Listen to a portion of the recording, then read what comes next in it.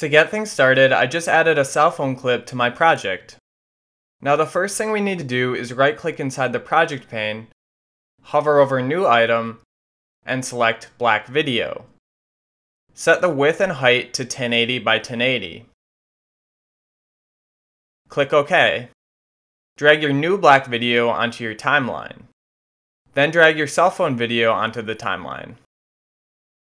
Right-click your cell phone clip and select Scale to Frame Size so that we get its original aspect ratio.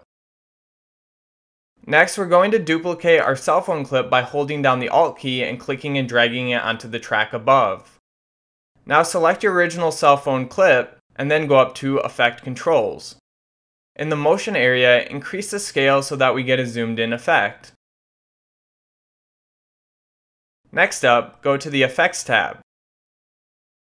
In the search box, type Gaussian Blur. Drag the effect onto your zoomed in clip. Go back up to the effect controls for that clip and increase the blurriness to your liking. Now this looks pretty good, but you'll notice our blurred background is moving around. We want just a still for that. To fix this, position your time marker at the beginning of the timeline. Right click your blurred clip and select Add Frame Hold. Now when we play back our video, we have a nice blurred border effect. Alright, that's it for this video, I hope you found it useful.